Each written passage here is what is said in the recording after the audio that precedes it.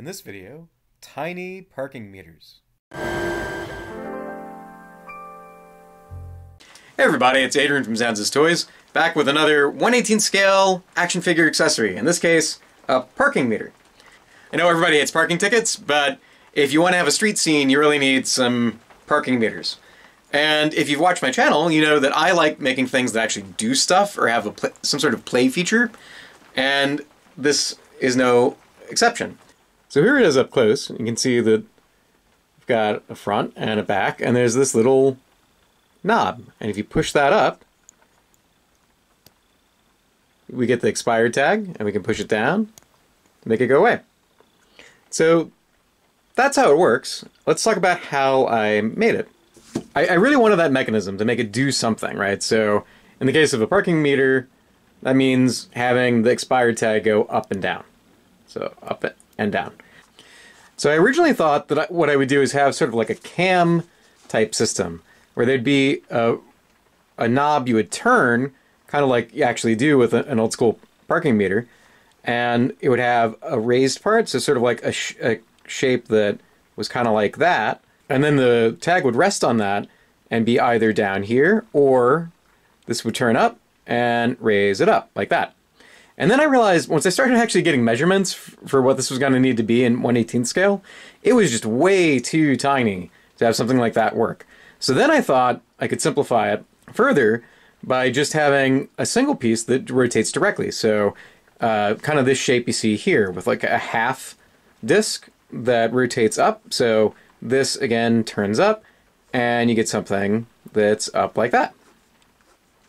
But even that seemed a little much. So what I ended up doing that ends up being really simple, uh, even more simple, is there's just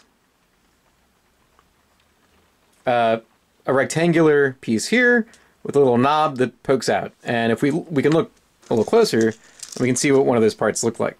So here's the part that moves up and down. So it, it pokes through and goes up and down.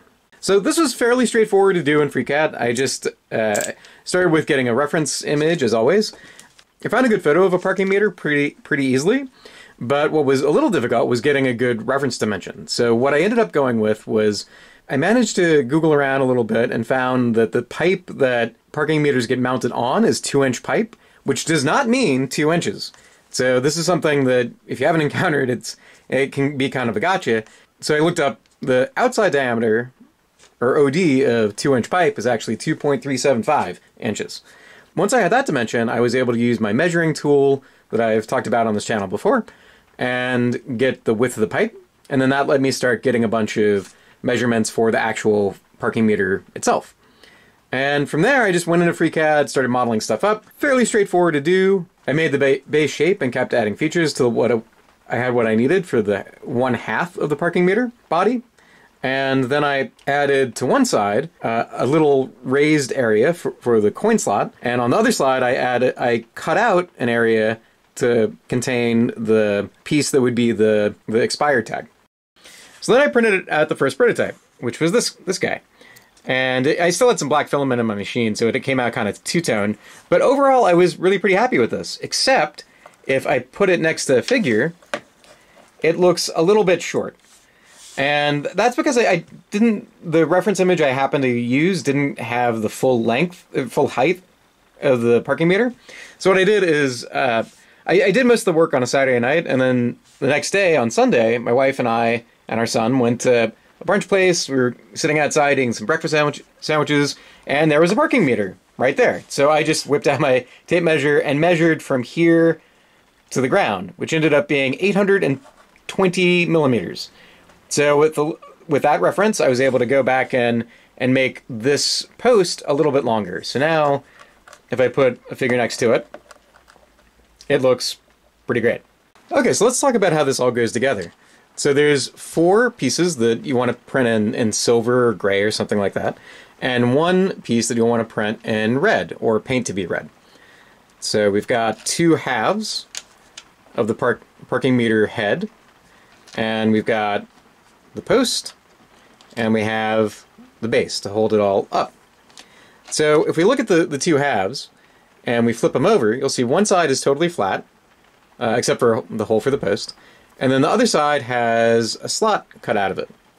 And that's where this part goes. So this just goes in there like that. And it can kind of ride in that groove and go up, up, and down. So that's pretty much all there is to it. Uh, you might need to... I, I, definitely find myself needing to use a little bit of a, a needle file to kind of go in and, and clean this out a little bit. So that might be necessary. Uh, I did print it without supports because this is a small enough gap that most printers can just bridge it fine. So it's printed like that.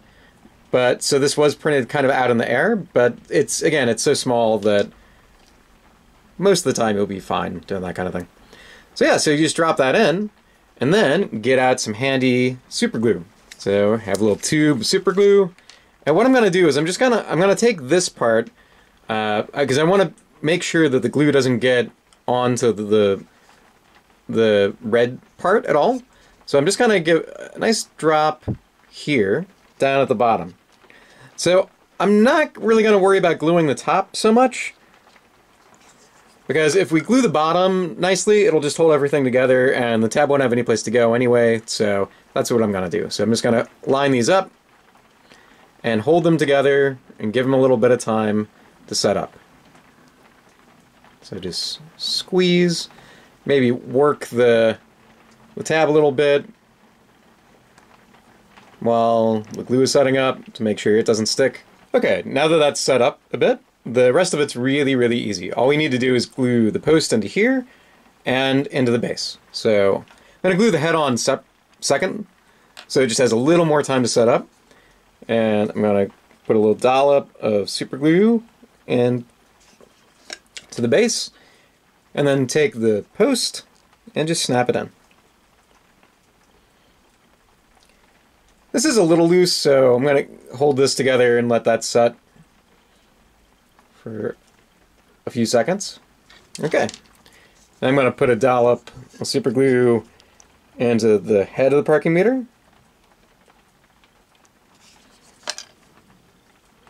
And poke that in.